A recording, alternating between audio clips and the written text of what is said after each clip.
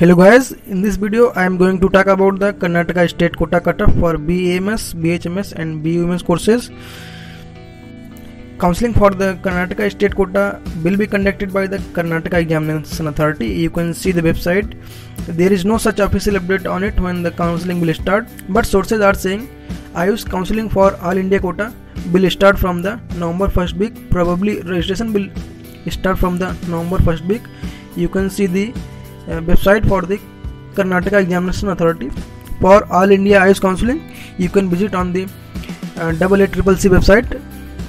There are four government Ayurvedic college, one homeopathic and one Unani college, and lots of private college having government quotas.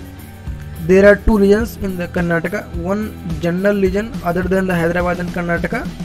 Uh, You can see the category code for general region 1K 1G, 1R, 2E.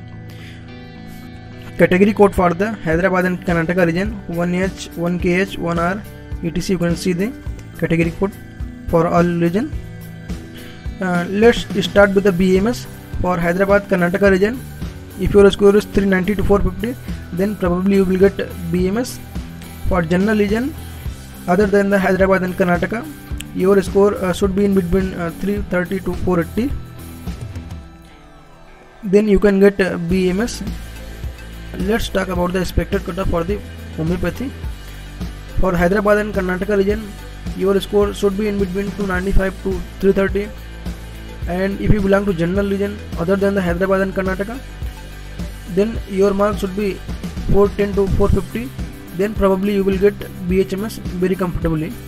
At Unani College, your score should be in between 380 to 420 marks then you can get BUMS very comfortably.